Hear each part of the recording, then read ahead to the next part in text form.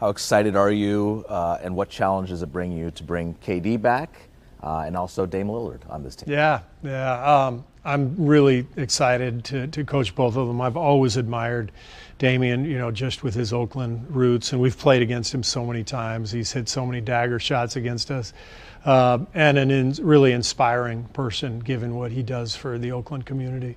So really excited to get to know uh, Damian better and thrilled to be coaching KD again. You know, he gave us three amazing years, and it was a, a wonderful relationship. Everything about um, about Kevin and his involvement in the Olympics and coaching him again, it all excites me.